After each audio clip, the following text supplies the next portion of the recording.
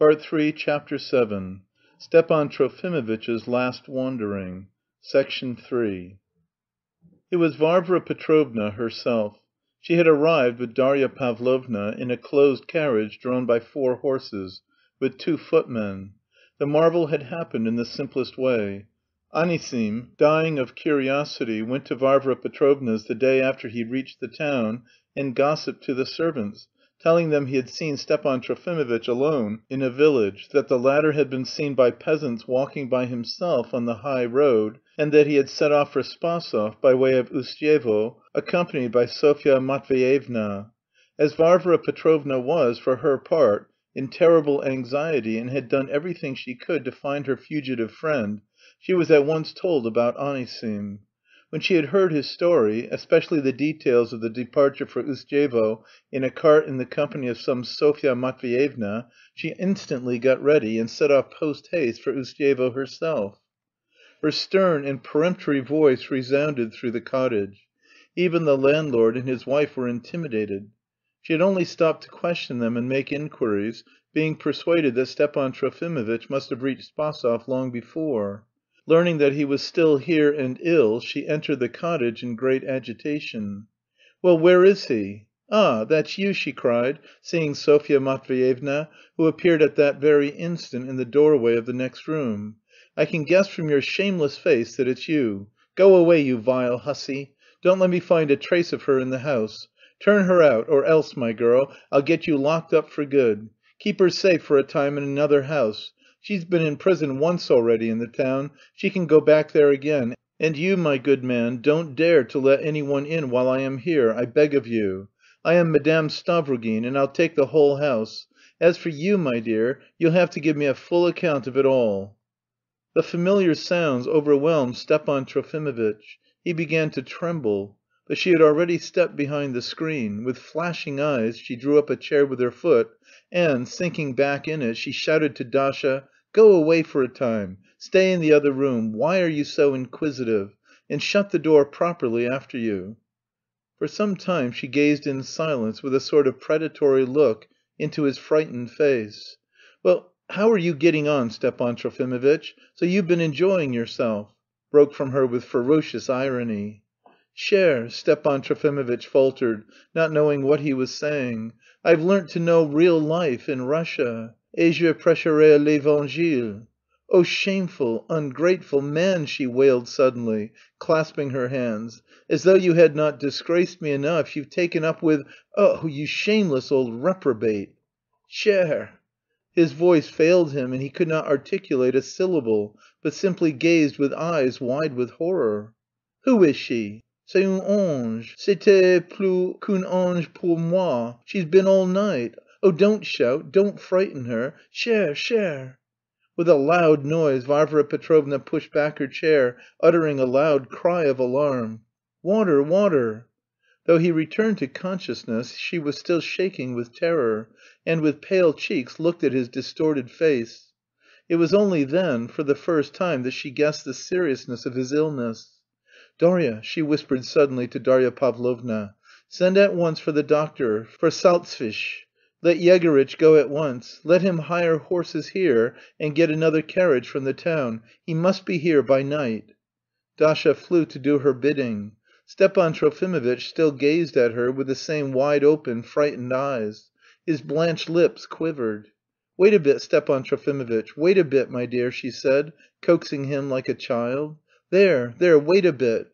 Darya will come back and... My goodness, the landlady, the landlady! You come anyway, my good woman." In her impatience she ran herself to the landlady.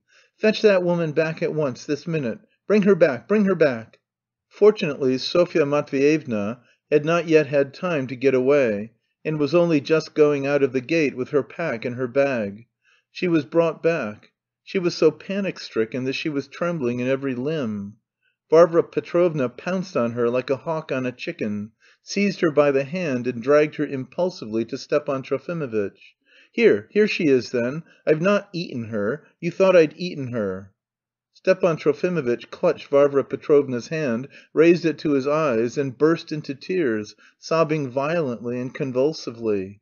There, calm yourself. There, there, my dear. There, my poor dear man. Ach, mercy on us! Calm yourself, will you?" she shouted frantically. "Oh, you bane of my life!" "My dear," Stepan Trofimovitch murmured at last, addressing Sofya Matveyevna, "stay out there, my dear. I want to say something here."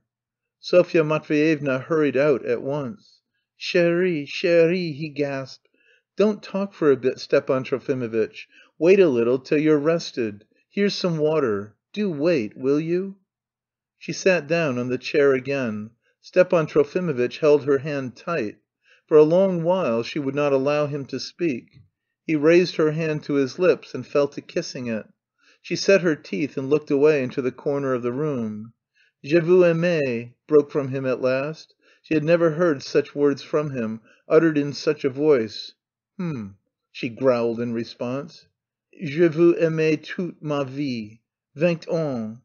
She remained silent for two or three minutes. "And when you were getting yourself up for Dasha you sprinkled yourself with scent," she said suddenly in a terrible whisper. Stepan Trofimovitch was dumbfounded. "You put on a new tie." Again silence for two minutes. "Do you remember the cigar?" "My friend," he faltered, overcome with horror. "That cigar at the window in the evening, the moon was shining, after the arbour at Skvoreshniki. Do you remember? Do you remember?" She jumped up from her place, seized his pillow by the corners and shook it with his head on it. "Do you remember, you worthless, worthless, ignoble, cowardly, worthless man, always worthless," she hissed in her furious whisper, restraining herself from speaking loudly. At last she left him and sank on the chair, covering her face with her hands. "Enough!" she snapped out, drawing herself up. "Twenty years have passed. There's no calling them back. I am a fool too." "Je vous aime," he clasped his hands again. "Why do you keep up with your aimer and aimer? Enough!" she cried, leaping up again. "And if you don't go to sleep at once, I'll... You need rest. Go to sleep, go to sleep at once. Shut your eyes. Ach, mercy on us! Perhaps he wants some lunch. What do you eat? What does he eat? Ach, mercy on us! Where is that woman? Where is she?" There was a general bustle again, but Stepan Trofimovitch faltered in a weak voice that he really would like to go to sleep, un peu, and then un bouillon, un enfin il est si heureux. He lay back and really did seem to go to sleep. He probably pretended to. Varvara Petrovna waited a little and stole out on tiptoe from behind the partition. She settled herself in the landlady's room, turned out the landlady and her husband, and told Dasha to bring her "that woman." There followed an examination in earnest. "Tell me all about it, my good girl. Sit down beside me. That's right. Well?" "I met Stepan Trofimovitch..." "Stay, hold your tongue. I warn you that if you tell lies or conceal anything I'll ferret it out. Well?" "Stepan Trofimovitch and I... as soon as I came to Hatovo..." Sofya Matveyevna began almost breathlessly. "Stay, hold your tongue. Wait a bit. Why do you gabble like that? To begin with, what sort of creature are you?" Sofya Matveyevna told her after a fashion, giving a very brief account of herself, however, beginning with Sevastopol. Varvara Petrovna listened in silence, sitting up erect in her chair, looking sternly straight into the speaker's eyes. "Why are you so frightened? Why do you look at the ground? I like people who look me straight in the face and hold their own with me. Go on." She told of their meeting, of her books, of how Stepan Trofimovitch had regaled the peasant woman with vodka. "That's right, that's right. Don't leave out the slightest detail," Varvara Petrovna encouraged her. At last she described how they had set off, and how Stepan Trofimovitch had gone on talking, really ill by that time, and here had given an account of his life from the very beginning, talking for some hours. "Tell me about his life." Sofya Matveyevna suddenly stopped and was completely nonplussed. "I can't tell you anything about that, madam," she brought out, almost crying. "Besides, I could hardly understand a word of it." "Nonsense, you must have understood something." "He told a long time about a distinguished lady with black hair." Sofya Matveyevna flushed terribly, though she noticed Varvara Petrovna's fair hair and her complete dissimilarity with the brunette of the story. "Black haired? What, exactly? Come, speak."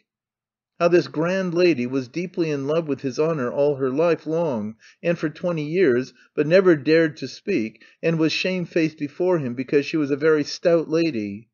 "The fool!" Varvara Petrovna rapped out thoughtfully, but resolutely. Sofya Matveyevna was in tears by now. "I don't know how to tell any of it properly, madam, because I was in a great fright over his honour, and I couldn't understand, as he is such an intellectual gentleman." "It's not for a goose like you to judge of his intellect. Did he offer you his hand?" The speaker trembled.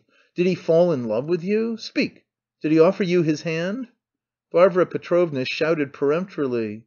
"That was pretty much how it was," she murmured tearfully. "But I took it all to mean nothing because of his illness," she added firmly, raising her eyes. "What is your name?" "Sofya Matveyevna, madam." "Well, then, let me tell you, Sofya Matveyevna, that he is a wretched and worthless little man. Good Lord! Do you look upon me as a wicked woman?" Sofya Matveyevna gazed open eyed. "A wicked woman, a tyrant, who has ruined his life?" "How can that be when you are crying yourself, madam?" Varvara Petrovna actually had tears in her eyes. "Well, sit down, sit down, don't be frightened. Look me straight in the face again. Why are you blushing? Dasha, come here, look at her. What do you think of her? Her heart is pure." And to the amazement and perhaps still greater alarm of Sofya Matveyevna, she suddenly patted her on the cheek. "It's only a pity she is a fool. Too great a fool for her age. That's all right, my dear, I'll look after you. I see that it's all nonsense. Stay near here for the time, a room shall be taken for you, and you shall have food and everything else from me... till I ask for you." Sofya Matveyevna stammered in alarm that she must hurry on. "You've no need to hurry. I'll buy all your books, and meantime you stay here. Hold your tongue, don't make excuses. If I hadn't come you would have stayed with him all the same, wouldn't you?" "I wouldn't have left him on any account," Sofya Matveyevna brought out softly and firmly, wiping her tears. It was late at night when Doctor Salzfish was brought. He was a very respectable old man and a practitioner of fairly wide experience, who had recently lost his post in the service in consequence of some quarrel on a point of honour with his superiors. Varvara Petrovna instantly and actively took him under her protection. He examined the patient attentively, questioned him, and cautiously pronounced to Varvara Petrovna that the sufferer's condition was highly dubious in consequence of complications, and that they must be prepared even for the worst.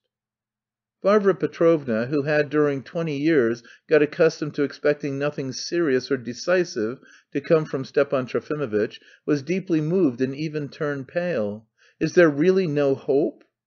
"Can there ever be said to be absolutely no hope? But..." She did not go to bed all night, and felt that the morning would never come.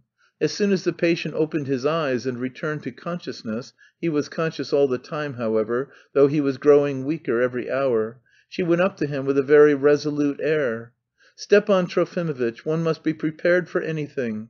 I've sent for a priest. You must do what is right." Knowing his convictions, she was terribly afraid of his refusing. He looked at her with surprise. "Nonsense, nonsense!" she vociferated, thinking he was already refusing. "This is no time for whims. You have played the fool enough." "But... am I really so ill then?" He agreed, thoughtfully. And indeed I was much surprised to learn from Varvara Petrovna afterwards that he showed no fear of death at all. Possibly it was that he simply did not believe it, and still looked upon his illness as a trifling one. He confessed and took the sacrament very readily. Every one, Sofya Matveyevna, and even the servants, came to congratulate him on taking the sacrament. They were all moved to tears, looking at his sunken and exhausted face, and his blanched and quivering lips. "Oui, mes amis, and I only wonder that you take so much trouble. I shall most likely get up to morrow, and we will set off. Toute cette cérémonie, for which of course I feel every proper respect, was..." "I beg you, father, to remain with the invalid," said Varvara Petrovna, hurriedly, stopping the priest, who had already taken off his vestments. "As soon as tea has been handed, I beg you to begin to speak of religion, to support his faith." The priest spoke. Every one was standing or sitting round the sick bed. "In our sinful days," the priest began smoothly, with a cup of tea in his hand, "faith in the Most High is the sole refuge of the race of man in all the trials and tribulations of life, as well as its hope for that eternal bliss promised to the righteous." Stepan Trofimovitch seemed to revive, a subtle smile strayed on his lips. "Mon père, je vous remercie et vous êtes bien bon, mais..." "No mais about it, no mais at all!" exclaimed Varvara Petrovna, bounding up from her chair. "Father," she said, addressing the priest, "he is a man who... he is a man who... you will have to confess him again in another hour... that's the sort of man he is." Stepan Trofimovitch smiled faintly. "My friends," he said, "God is necessary to me, if only because he is the only being whom one can love eternally." Whether he was really converted, or whether the stately ceremony of the administration of the sacrament had impressed him and stirred the artistic responsiveness of his temperament or not, he firmly, and, I am told, with great feeling, uttered some words which were in flat contradiction with many of his former convictions. "My immortality is necessary, if only because God will not be guilty of injustice and extinguish altogether the flame of love for Him once kindled in my heart. And what is more precious than love? Love is higher than existence. Love is the crown of existence. And how is it possible that existence should not be under its dominance? If I have once loved him and rejoiced in my love, is it possible that he should extinguish me and my joy and bring me to nothingness again? If there is a God, then I am immortal. Voilà ma profession de foi." "There is a God, Stepan Trofimovitch, I assure you there is," Varvara Petrovna implored him. "Give it up, drop all your foolishness for once in your life." I think she had not quite understood his profession de foi. "My friend," he said, growing more and more animated, though his voice broke frequently, "as soon as I understood that turning of the cheek, I understood something else as well. J'ai menti toute ma vie, all my life, all... I should like... but that will do to morrow. To morrow we will all set out." Varvara Petrovna burst into tears. He was looking about for someone. "Here she is, she is here!" She seized Sofya Matveyevna by the hand and led her to him. He smiled tenderly. "Oh, I should dearly like to live again!" he exclaimed with an extraordinary rush of energy. "Every minute, every instant of life ought to be a blessing to man. They ought to be, they certainly ought to be. It's the duty of man to make it so. That's the law of his nature which always exists even if hidden. Oh, I wish I could see Petrusha and all of them, Shatov." I may remark that as yet no one had heard of Shatov's fate, not Varvara Petrovna, nor Darya Pavlovna, nor even Salzfish, who was the last to come from the town. Stepan Trofimovitch became more and more excited, feverishly so, beyond his strength. The mere fact of the ever present idea that there exists something infinitely more just and more happy than I am fills me through and through with tender ecstasy, and glorifies me oh, whoever I may be, whatever I have done. What is far more essential for man than personal happiness is to know and to believe at every instant that there is somewhere a perfect and serene happiness for all men and for everything. The one essential condition of human existence is that man should always be able to bow down before something infinitely great. If men are deprived of the infinitely great they will not go on living and will die of despair. The infinite and the eternal are as essential for man as the little planet on which he dwells. My friends, all, all hail to the great idea, the eternal, infinite idea. It is essential to every man, whoever he may be, to bow down before what is the great idea. Even the stupidest man needs something great. Petrusha, oh, how I want to see them all again! They don't know, they don't know that that same eternal, grand idea lies in them all." Doctor Salzfish was not present at the ceremony. Coming in suddenly, he was horrified, and cleared the room insisting that the patient must not be excited. Stepan Trofimovitch died three days later, but by that time he was completely unconscious. He quietly went out like a candle that is burnt down. After having the funeral service performed, Varvara Petrovna took the body of her poor friend to Skvoreshniki. His grave is in the precincts of the church and is already covered with a marble slab; the inscription and the railing will be added in the spring. Varvara Petrovna's absence from town had lasted eight days. Sofya Matveyevna arrived in the carriage with her, and seems to have settled with her for good. I may mention that as soon as Stepan Trofimovitch lost consciousness the morning that he received the sacrament, Varvara Petrovna promptly asked Sofya Matveyevna to leave the cottage again, and waited on the invalid herself unassisted to the end, but she sent for her at once when he had breathed his last. Sofya Matveyevna was terribly alarmed by Varvara Petrovna's proposition, or rather command, that she should settle for good at Skvoreshniki, but the latter refused to listen to her protests. "That's all nonsense. I will go with you to sell the gospel. I have no one in the world now." "You have a son, however," Salzfish observed. "I have no son," Varvara Petrovna snapped out, and it was like a prophecy. CHAPTER VIII.